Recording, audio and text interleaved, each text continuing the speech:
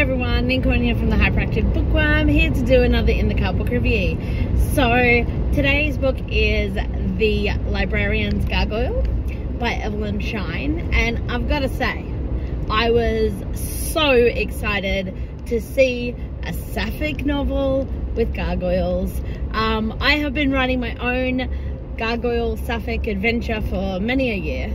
I have wrote, written several very, very bad manuscripts and um, I am looking at working towards writing, you know, one that might actually see the light of day eventually. Hopefully next year, maybe. We'll see. Um, anyway, so seeing a gargoyle book, I, I knew I had to read this book anyway. I, I knew I had to. Um, it is a cozy sapphic mystery and there's there's a slow burn romance um, there is so many mysteries. Well there are so many mysteries. I mean it's not just the one mystery. There's all these little mysteries in there as well and it pulls you in and the writing is superb. Now when i first started write, reading it i was like oh crap why didn't i check? It's historical.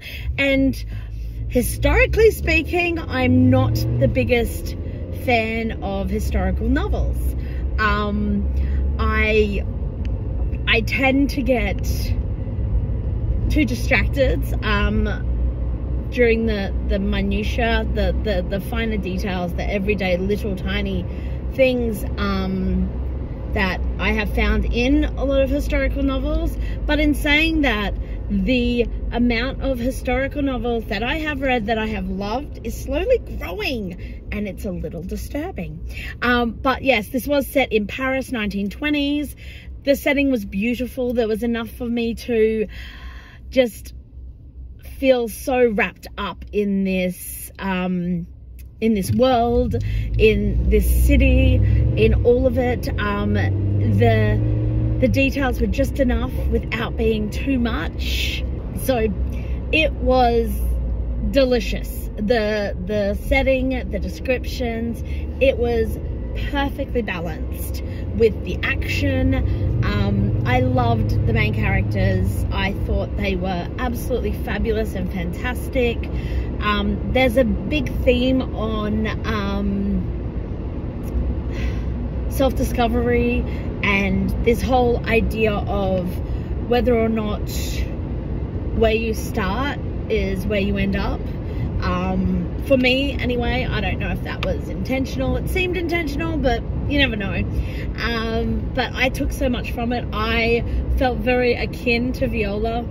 Um, while situations are very different I did feel that um, being the youngest of the youngest um, has played into forming me um, as a you know as a human and my personality and stuff. And and I could relate to some of the issues she had um, with being the seventh daughter of the seventh daughter.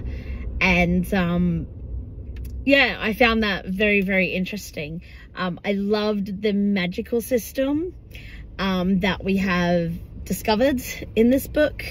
I I thought it was great. I can't wait to actually see more of the magical work and the layers and everything in the second book.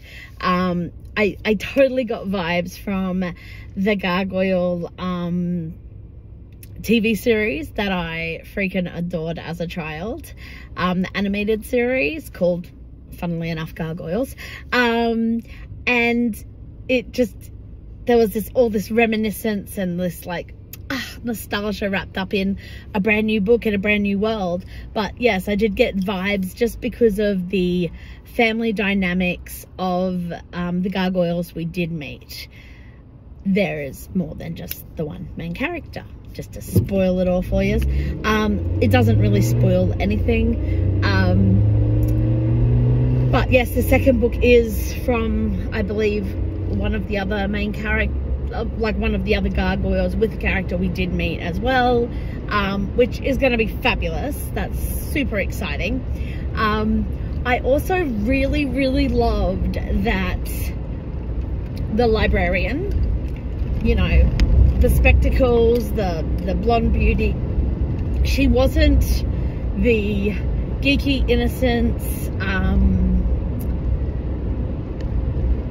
I don't know, the, the, the virgin, you know, that, that is often lumped with that dynamic. I love that she was strong and powerful and um, stubborn and, you know, she had her own mind and, and there's just, it was so good. I really enjoyed it. I, I was I, I may have laughed a little. Um, I was like, what? They're not, oh, that's safe. Um, further on into the book, uh, once you read it, you'll understand what I'm talking about. Um, like I said, it was a slow burn, which was fun. There were, um, you know, hidden identities. There were so many amazing things. Um, I, I also really love Xander. They are a great character. I really hope we see more of them in the second book as well. Um, I am also very, very fond of Cassiopeia. Um, and I, I, I really want to see Cassiopeia's story. Um, yeah. So, ah, it was a great book. I highly recommend it. I recommend all the gargoyles, all the sapphic, all the love. Um, and it has totally inspired me again to get back into my own gargoyle world um, which you know I have to be fighting back at the moment because I am still writing the daycare story.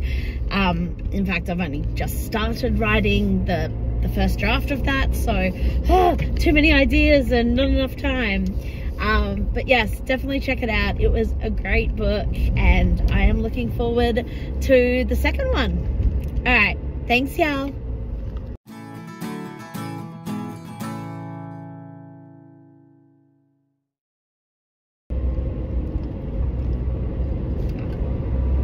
chimney drivers, you need to be waving, okay?